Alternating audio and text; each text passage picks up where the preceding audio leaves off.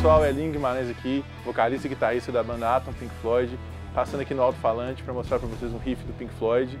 É, esse riff que é do álbum The Wall, que foi inclusive é, o álbum duplo mais vendido de todos os tempos. É um álbum que marcou ah, o personagem do, do, do Pink, né, personificado pelo próprio Roger Waters, que escreveu esse álbum, é uma história muito pessoal né, e marcado por guitarras fantásticas do David Gilmour né, com muitos efeitos, muitos equipamentos e, e, uma genialidade incrível. Esse riff não é um riff muito complicado, é um riff na verdade simples, né, tem, exige é, é, é o som muito característico, né, um Big Muff é, muito, muito agressivo, né, muito reverb, muito delay, na verdade muito delay, né, gravado num estúdio gigante com, com, com um microfone muito distante da, do, do gabinete, né, que é o riff de In The Flash.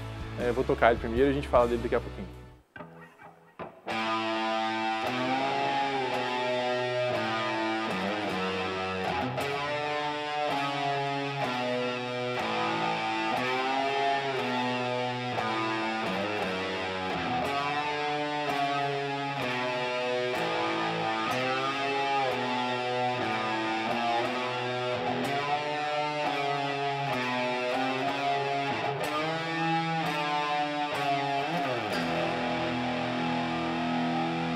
Então, como eu falei, é um riff simples, né, porém cheio de bends. Né, bends que consiste basicamente em pegar uma nota né, e chegar até outra nota dessa forma.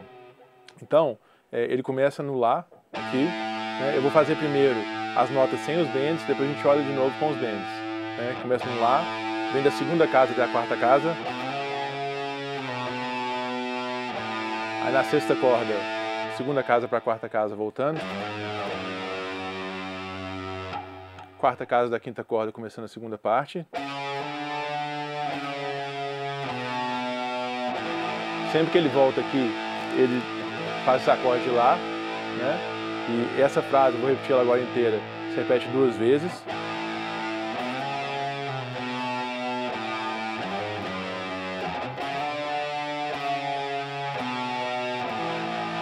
Então, ele faz isso duas vezes. Na terceira vez, tem uma subida cromática que é o seguinte, começa no Lá também, mesma coisa aqui.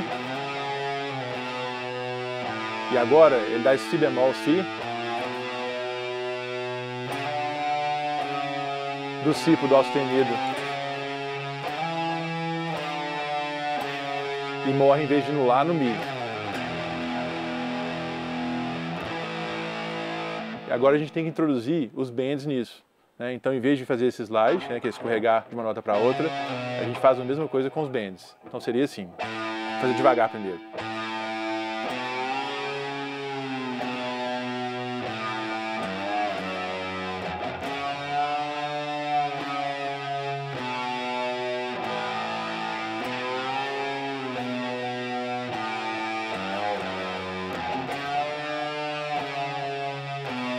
Agora a parte cromática.